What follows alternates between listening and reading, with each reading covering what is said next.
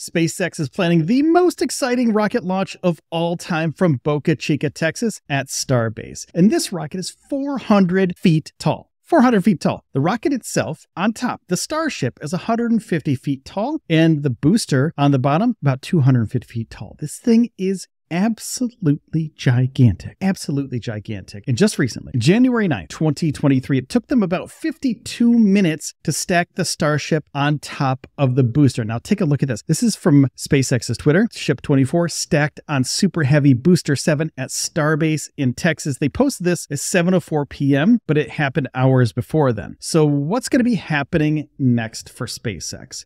Well, the booster and the ship are mated. So they can work together in tandem to get ready for a launch, which Elon Musk says, and I want to show you this too. Elon Musk says we have a real shot at late February. March launch attempt appears highly likely.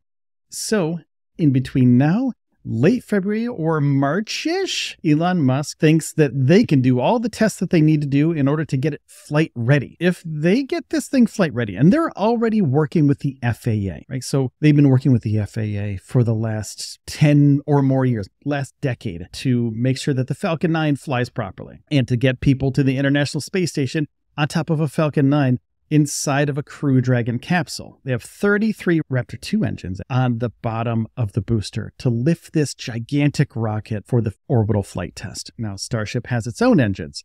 They've static fired the Starship engines. They've also static some of the booster engines already. Now that the Starship and the booster are mated, they have to do some testing to make sure that this will function properly for an orbital flight test that Elon said was going to happen in late February or sometime in March. So the booster is already static fired a few times, but it's never static fired with a Starship on top of it. Now, all of the static fires before seem to have been absolutely successful, and it seems to be that the booster is in a really great place right now because they just brought it back from the high bay and back down to the orbital launch mount. And that happened relatively quickly. Booster 9 is already at the orbital launch mount. They did some testing with it there, pressure testing, cryo testing with it at the uh, orbital launch pad. Now, I think what's going to happen in the next few days, we do have some road closures here, and there's going to be some some testing going on in the next few days. And I think what's going to happen, and the only thing that we can think of at this point for the next few days, Booster 9 is going to go away. We think we're going to move it away from there. But I also think that they're going to start testing cryogenically on the booster and possibly the ship coming up in the next few days. So it's 110 now. On Wednesday, the 11th, we have a road closure between 8 a.m. and 8 p.m. That's Central Time, Texas time. So we have 8 a.m. to 8 p.m. road closure. So that time could be used to move Booster 9 away from the testing a little bit could move it back to the bay so they can get it ready for a possible flight if they figure out that Booster 7 isn't going to be ready for this flight. So they have to get it ready, have to get it prepared. They have to do some data checking on everything that happened when they tested the Booster 9, or they could just move it off to the side, off to the landing pad area of the of the orbital flight area. So Booster 9 probably going to move it out of there. It's not going to take that long. Probably an hour to move it out of there. And then after that, they could start up with cryogenic testing, pressure testing of the booster and ship 24 tomorrow.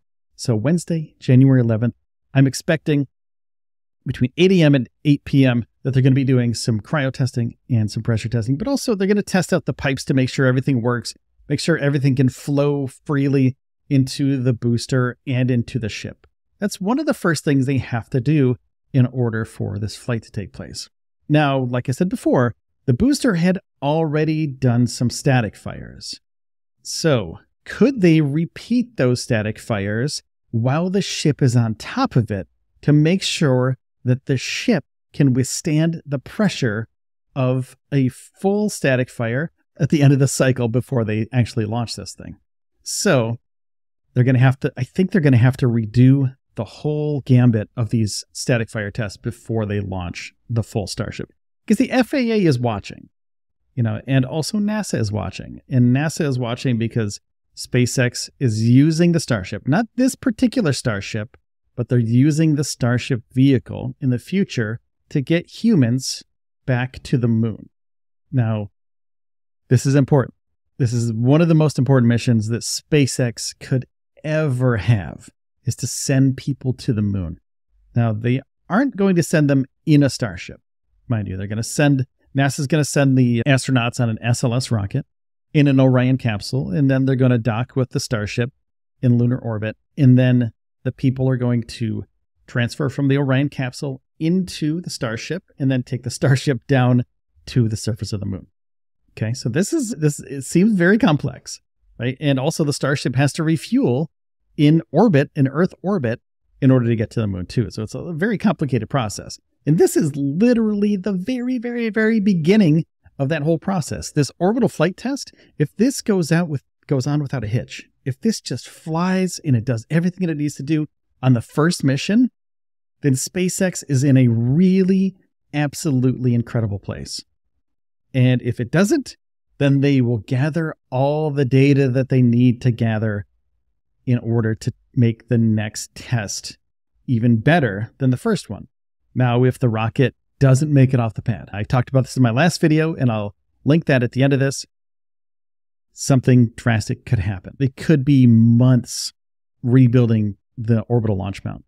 They could be a year. The FAA might step in and say, hey, we got to step in here and see what happened. And even though the FAA knows that this is an experimental rocket, this is a rocket that will be sending people to the moon. So it's a very important mission. But also, if the static fires of the booster from before are replicated, this could take Elon's guess is as good as anybody's at this point. I mean, he's the best person. He, he knows the most about this. But if they go through that whole gambit of static fires again, they'll have to do you know, a three engine static fire, a seven engine static fire, a 12 engine static fire, something along those lines, and then move it up to possibly a 19 or 20 engine static fire. Something, and these are numbers that are that are incremental as well. So they'll start small, work their way up to a larger number of Raptor 2 engines on the booster, and making sure that everything fits properly after every single one of these static fires because the thing's going to shake. I mean, these are the most powerful engines on the face of the earth right now. And this thing is going to be shaking the starship like it's never been shaken before. And they have to make sure that it stays together before they do the launch. So, everyone these static fires, they're going to do the fires, do the static fires, and then gather the data, make sure everything works properly. And if it does, they'll move on to the next static fire and incrementally go up in number of Raptor engines. Now, this happened before. They've stacked the Starship numerous times on top of the booster. They've done fit checks, they've done cryogenic tests. Elon has said they've had launch dates before. And most of the time, because it is rocketry and it's extremely difficult, it might take a little bit longer than March for this thing to launch. Could be middle of summer, it could be September, it could be months after this whole test regimen goes through in the next few days here. You know, when we start seeing these tests happen. Now Wednesday we have a st- we have a we have a closure, but we also have one on Thursday and we have one on Friday. And the one on Friday is 8 a.m. to 4 p.m.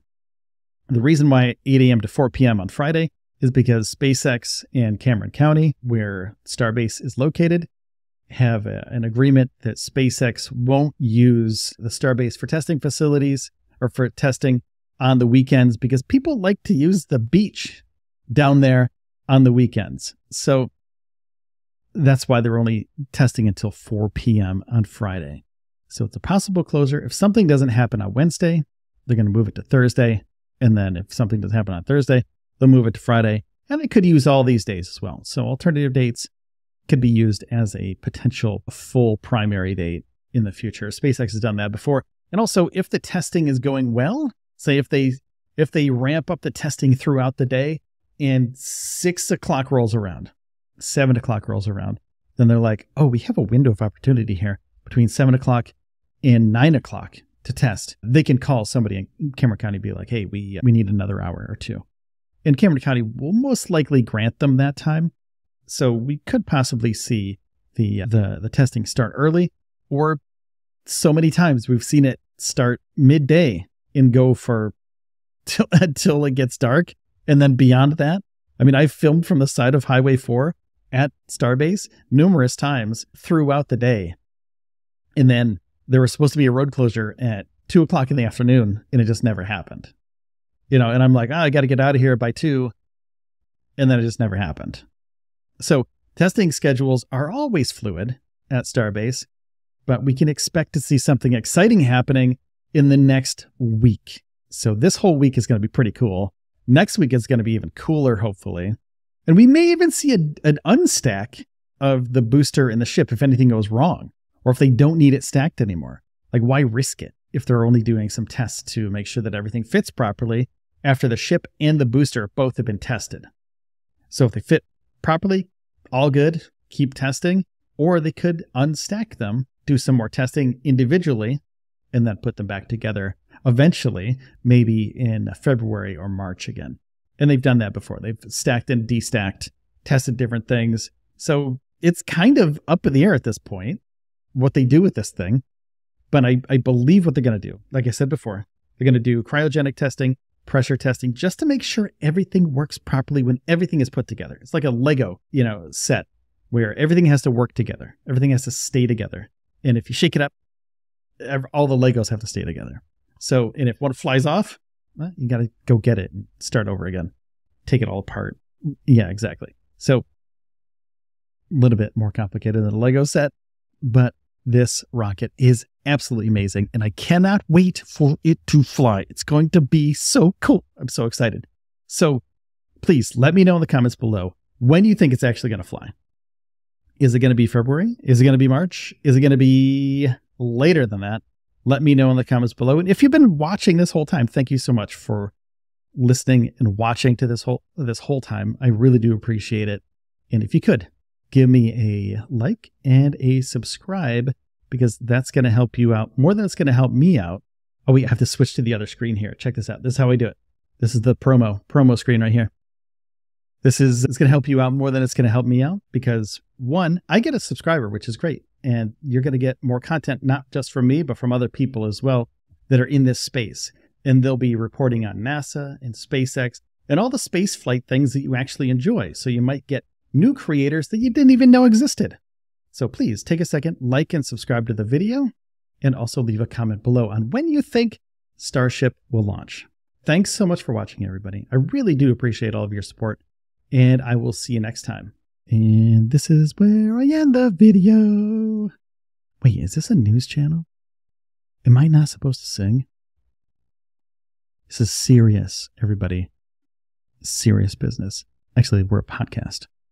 Started as a podcast. Check us out on any podcast app, by the way. Search for SpaceX News Pod on any podcast app, and you'll find my face going like this.